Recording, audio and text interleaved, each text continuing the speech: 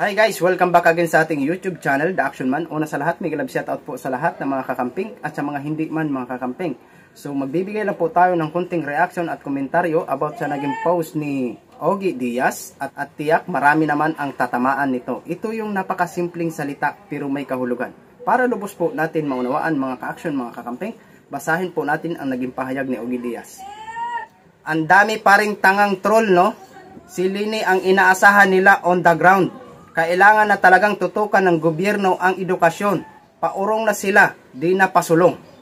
Yun ang naging pahayag sa nasabing post ni Ogie Diaz. Tama po ito, mga ka-action, mga kakamping.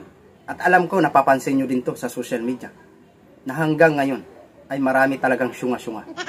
Direct to the point po tayo. Kung anong kredibilidad ang mayroong ganitong tao na syunga-syunga. Alam nyo kung bakit na hanggang ngayon ay patuloy pa rin silang syunga-syunga?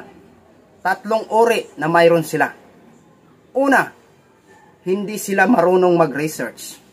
Pangalawa, kulang sila sa kaalaman.